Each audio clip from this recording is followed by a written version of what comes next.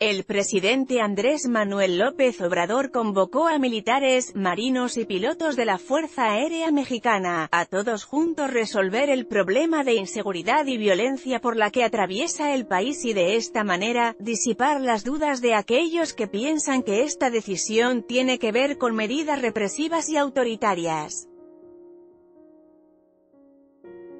En su primer evento como Comandante Supremo de las Fuerzas Armadas, el presidente pasó revista a las Fuerzas Armadas del país y en donde comandantes y almirantes lo saludaron y le reconocieron como Presidente Constitucional y Comandante Supremo, en una muestra de respeto, subordinación y lealtad a la institución que representa.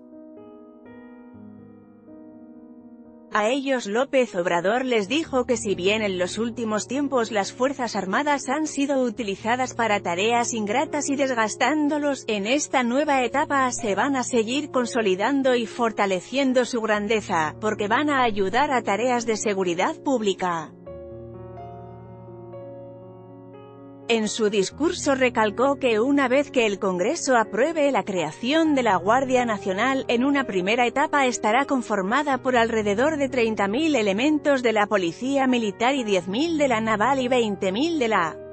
Policía Federal para un total de 60.000 elementos. En una segunda etapa convocaríamos a marinos y ejército a que se adhieran a la Guardia Nacional, con las mismas condiciones, respetando grados, antigüedad y ascensos, dijo en su discurso en el campo militar Marte.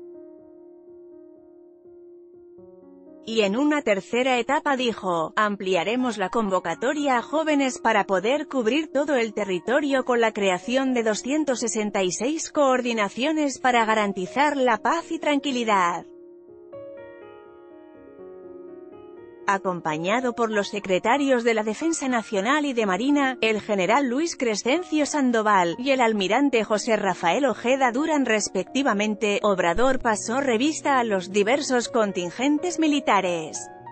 tal como lo hicieran los expresidentes Vicente Fox, Felipe Calderón y Enrique Peña Nieto, el presidente Andrés Manuel López Obrador pasó revista a las Fuerzas Armadas como primer acto luego de su investidura como primer mandatario del país. Soldados, marinos y pilotos de las Fuerzas Armadas, llevaron a cabo la salutación de las Fuerzas Armadas al presidente Andrés Manuel López Obrador, en donde comandantes y almirantes saludaron y lo reconocieron como presidente constitucional y su comandante supremo, en una muestra de respeto, subordinación y lealtad a la institución que representa. En el campo militar Marte, el presidente López Obrador se colocó frente a la bandera nacional para saludarla y enseguida subió a un vehículo militar acompañado por los secretarios de la Defensa Nacional. Luis Crescencio Sandoval, y el secretario de Marina, el almirante José Rafael Ojeda Durán para pasar revista a los diversos contingentes de la Marina, Defensa Nacional, Colegio del Aire y colegios militares. Fotos, Alejandro Aguilar, El Sol de México